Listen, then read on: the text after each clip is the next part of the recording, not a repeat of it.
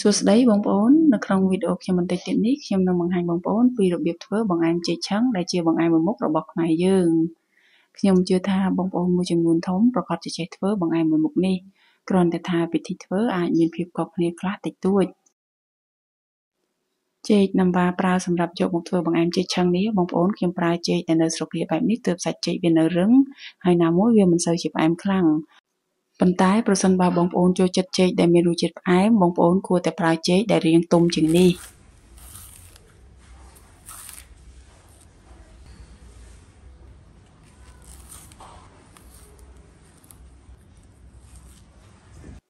ចេកនឹងវ៉ានេះបងប្អូនបន្ទាប់ពីបានបកហើយខ្ញុំយកវាមកត្រាំទឹកកបោប្រហែលជា15នាទីសិន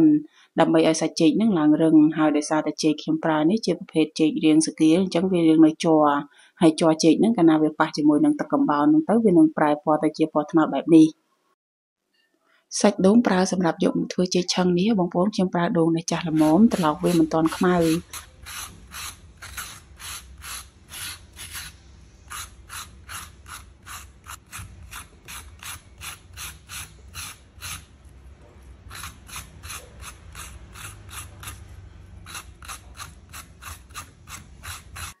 ហើយឥឡូវនេះបងប្អូនដូងនេះខ្ញុំបានកោសរួចរាល់ហើយខ្ញុំទុកវាមួយលើសិន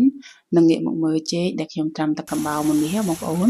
ខ្ញុំយកវាមកលាងទឹកធម្មតា2ទៅ3ទឹករហូតទាល់តែទឹកវាឡើងថ្លាបន្ទាប់មកទៀតខ្ញុំស្រង់វាដាក់កញ្ច្រែងនិងទុកឲ្យវាស្រស់ទឹកសិនមុននឹងយកវាបប្រើការ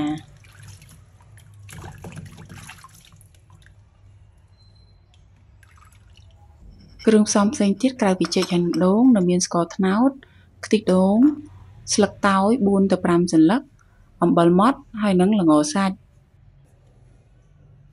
បន្ទាប់ពីបានត្រៀមគ្រឿងផ្សំរួចរាល់អស់ហើយខ្ញុំចាប់ផ្ដើមដាក់ស្ករត្នោតកំលោចមុនគេខ្ញុំកំលោចស្ករត្នោតនេះដោយប្រើភ្លើងតិចៗរហូតទាល់តែវាឡើងឈ្ងុយនិងឡើងពណ៌ក្រហម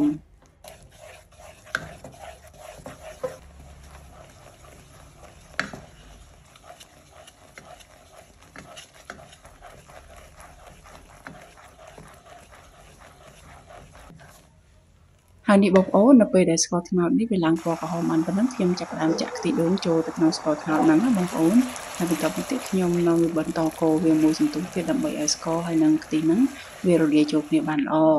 បន្តមកទៀតខ្ញុំដាក់ស្លឹកតើយចូលជាមួយនឹងអំបិល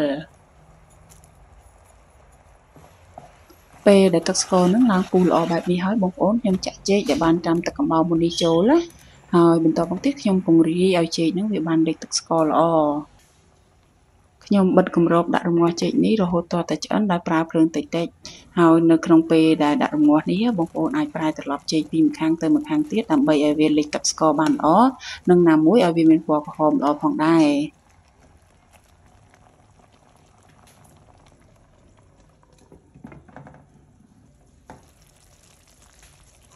ហើយនេះបងប្អូនបន្ទាប់ពីបានដាក់រងាស់ចោលប្រហែលជាកន្លះម៉ោងហ្នឹងចេកហ្នឹងបានឆ្អិនល្អហើយចំណែកឯទឹកស្ករហ្នឹងក៏វារាងខាប់ជាងមុនដែរ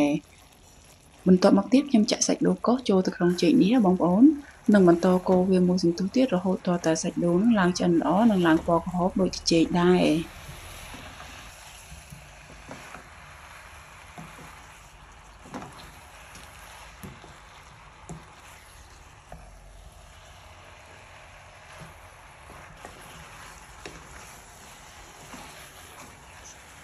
ហើយឥឡូវនេះបងប្អូនសាច់ដូងនឹងបានឡើងឆ្អិននិងដាច់ទឹកល្អហើយ បន្ទាប់មកទៀតខ្ញុំចាក់ល្ងសាច់ចូលហើយនឹងបន្តកូរវាមួយសន្ទុះទៀតដើម្បីឲ្យល្ងដូងហើយនឹងចេកហ្នឹងវាចូលស្មើគ្នាសព្វសាច់ល្អជាការស្រេច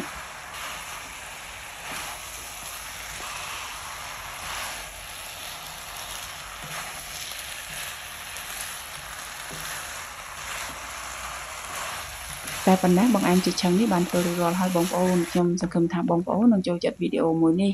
សូមអរគុណច្រើនសម្រាប់ការទស្សនានិងជួបគ្នានៅក្នុងវីដេអូក្រោយៗទៀត